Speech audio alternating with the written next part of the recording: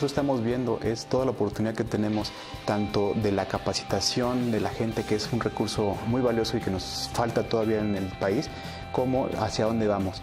En cuanto a la capacitación, algo de lo que estamos haciendo en la asociación es un esfuerzo muy interesante, muy padre, en el que estamos desarrollando ya toda la retícula de materias para poder tener nuevos recursos en el país en cuanto a estudiantes.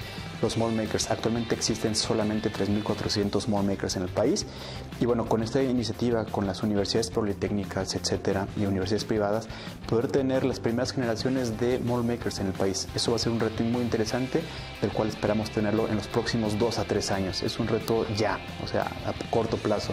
Y finalmente algo de lo que estamos viendo es cómo tenemos ahorita la oportunidad impresionante de empezar a crecer y despuntar realmente en el mercado más grande del mundo, que es Norteamérica, para tanto hacia Estados Unidos como hacia Centro y Sudamérica. Son básicamente los retos que ahorita tenemos. Comentamos en la presentación de que apenas estamos nosotros surtiendo el 2% de todo lo que es la demanda nacional de moldes y troqueles. El reto es amplio, tenemos que eh, competir con calidad, con costo y con tiempos contra mercados europeos, contra mercados asiáticos y los mismos norteamericanos. La oportunidad que tenemos con el Tratado de Libre Comercio, se están abriendo muchas fronteras.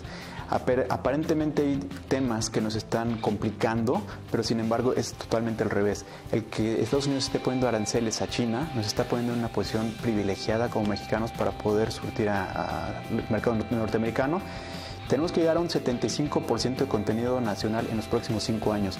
Esta es una meta que nos acaba de poner eh, el gobierno norteamericano, en el cual nosotros tenemos ahora sí que el tiempo para desarrollarnos, para poder llegar y para poder apropiarnos de este mercado que realmente puede ser de nosotros.